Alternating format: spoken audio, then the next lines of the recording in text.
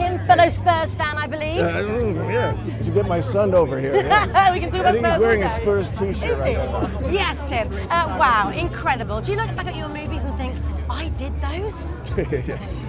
yeah, yeah, and, and I say it in different ways. Like I did, yeah, with a real question mark. It's a, it's a way to do it. Yeah. but this is incredible now with Disney. Does this mean that a superhero might be on the cards next? now that the 21st Century Fox have teamed up? Now it's all building into one.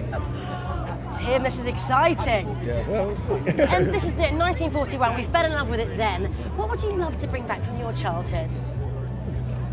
Nothing. Nothing. I don't want to be a child. No, it was hard enough being a child at the time, so yeah, I don't want to go back. And did you think there's a lot of pressure on you recreating this incredible movie? Yeah, there's always pressure on these kind of things, especially with beloved classic and all. But we just tried to keep true to the spirit of why you know why I like Dumbo from the beginning. So Well, it was absolutely incredible. Thank, you very much indeed. Cheers, Tim. Stuff in the school home.